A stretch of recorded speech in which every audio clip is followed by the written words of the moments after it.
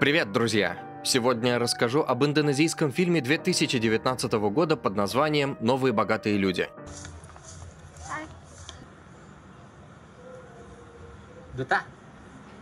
Тика – студентка университета, и она очень спешит на занятия. Сегодня ей предстоит сдать изготовленный своими руками макет, но автобус переполнен, и добравшись наконец до места, девушка обнаруживает досадную поломку. Студентки издевательски называют ее поделку дизайнерской свалкой и смеются над ней. К тому же девушка из бедной семьи, что тоже служит предметом для шуток. Брат Тики Дека учится в театральной студии и мечтает покорить сцены мира. Его девиз по жизни «Если реальность кусает тебя, просто укуси в ответ». И друзьям он советует мечтать только о большем, что, впрочем, не решает проблему денег. Младший брат Доди учится в начальной школе, и его окружение тоже часто подсмеивается над его изношенной обувью и одеждой. Тика жалеет его, как младшего, и надеется, что его жизнь сложится счастливо. Мать детей занимается домашними делами и частенько просит дочь о помощи, хотя той гораздо интереснее следить за подругами, отправившимися в Париж, куда Тика даже не мечтает попасть. Семья вообще живет в стесненных обстоятельствах. Доходит до того, что дети вынуждены принимать ванну в одной и той же воде, хотя после Тики ванная хотя бы пахнет духами.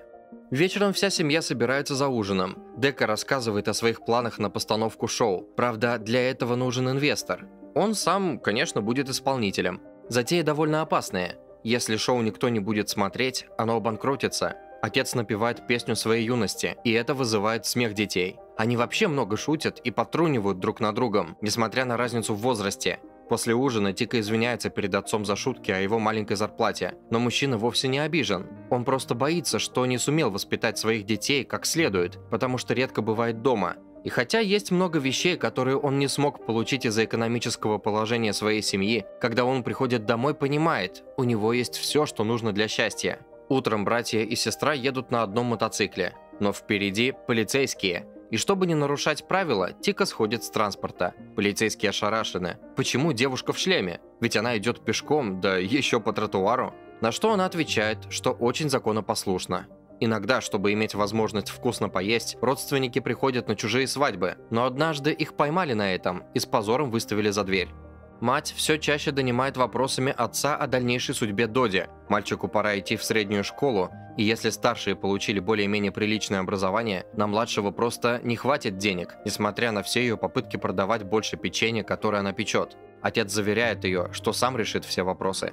Тика принимает приглашение участвовать в Олимпиаде по физике, хотя учится на другом профиле, но она умна, и это никто не оспаривает.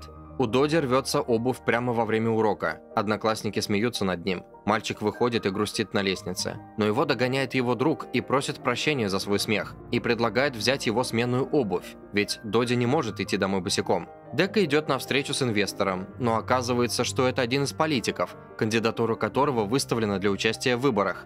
Парень смущен. Такое не одобряется обществом. Но его уговаривают. В конце концов, мужчина скажет только пару фраз во время шоу.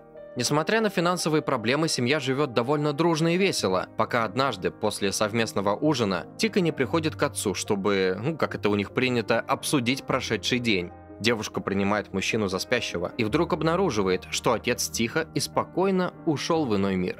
Дети и мать убиты горем и горячо оплакивают любимого человека. После похорон семья собирается на совет. Нужно решить, как они будут жить теперь, после потери кормильца.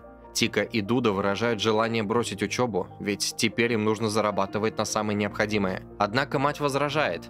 Отец очень хотел, чтобы его дети получили хорошее образование и престижные профессии.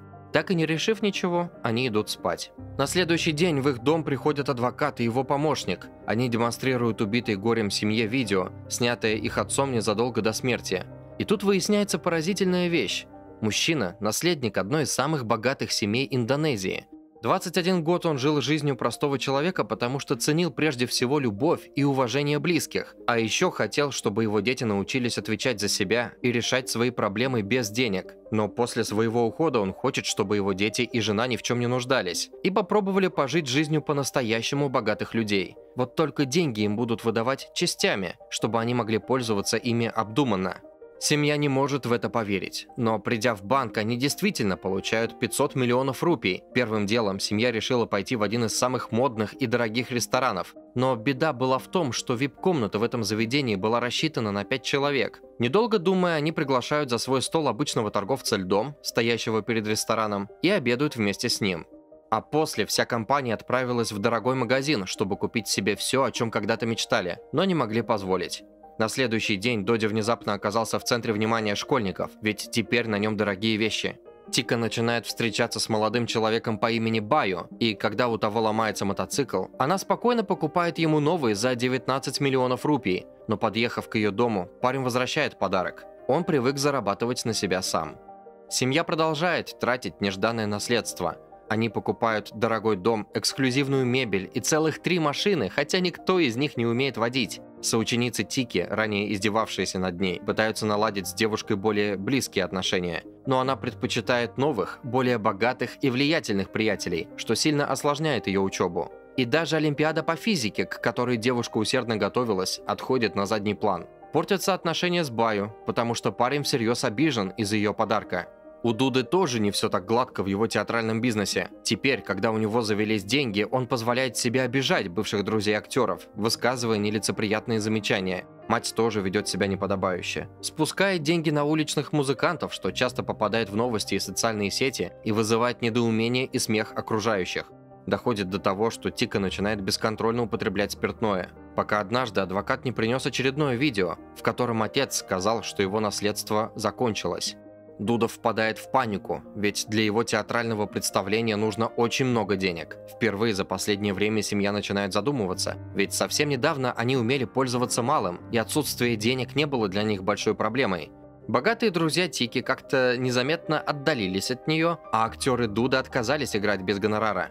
Доди тоже чувствует перемены в семье. Даже ужинать ему приходится теперь одному, потому что все заняты только собой. Однажды на дискотеке Тика слышит разговор подружек. Девушки удивляются, почему она тут. Ведь она умна и может достичь гораздо большего, чем гуляние по клубам. Тика идет домой, по пути набирая номер своей бывшей подруги и умоляет дать ей еще один шанс, чтобы вернуть все хорошее, что между ними было. Казалось, все входит в свое русло. Тика занялась физикой и приняла участие в Олимпиаде, Мать разделила предметы первой необходимости беднякам, а сын нашел средства для реализации его постановки. Но все пошло не так, как задумывалось. Во время раздачи имущества люди устроили настоящую давку, и многие пострадали в ней. Тику поймали вместе с бывшими друзьями и обвинили в употреблении веществ, а Дуду обвинили в принятии денег от нечестных на руку политиков, в результате чего шоу было испорчено. К счастью, результат теста крови Тики оказался отрицательным, но на этом испытания семьи не закончились. Однажды вечером адвокат привел к их дому мужчину, который оказался младшим братом их отца, о существовании которого они даже не подозревали. Он пришел, чтобы забрать оставшееся наследство. Семье приходится подчиниться силе закона, но главным уроком становится понимание, что собственность и богатство – это временные явления, а экстравагантный образ жизни вовсе не синоним успеха. Теперь они верят, что деньги и слава не гарантируют человеку счастье. Они опять переезжают в свой старый дом и начинают жить привычной жизнью. Тика и Баю возобновляют отношения и даже решают пожениться. Кажется, все вошло в привычное русло, но внезапно в их доме появляется другой адвокат и опять показывает видео отца, в котором он признается, что никакого младшего брата у него нет, а тот мужчина – его друг, согласившийся подыграть ему, чтобы показать, насколько неустойчиво может оказаться положение богатого человека. Наследство же никуда не делось, и денег осталось еще очень много, но они не могут обеспечить любовь и уважение, не могут сохранить дружбу и верность и сделать человека по-настоящему счастливым.